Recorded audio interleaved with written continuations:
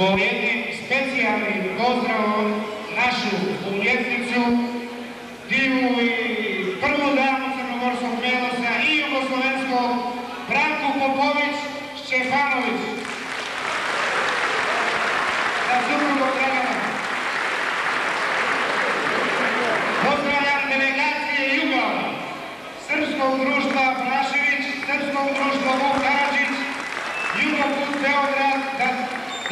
дека сини част од македонско друштво и Мирле изробнала Југословенско друштво Босна и Херцеговина, Словенски клуб Триглав, Југословенско друштво Младост из Јукасна.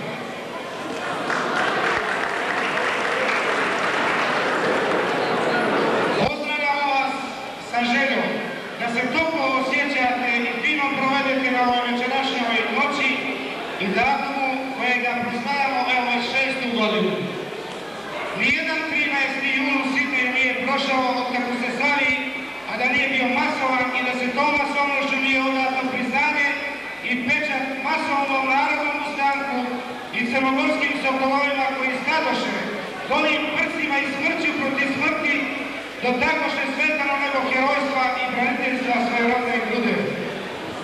Oni su umirali spijući i prkosno i sa pjesmom, znajući da će slobodno doći i stvoriti nam bolje sutra.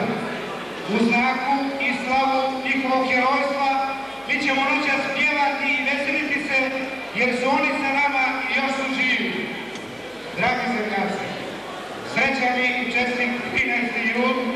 About